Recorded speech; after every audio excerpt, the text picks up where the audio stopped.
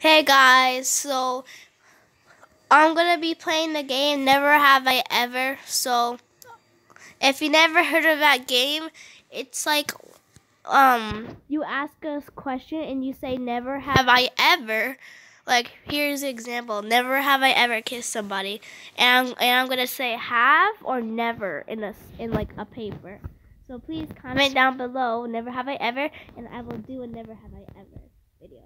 Okay.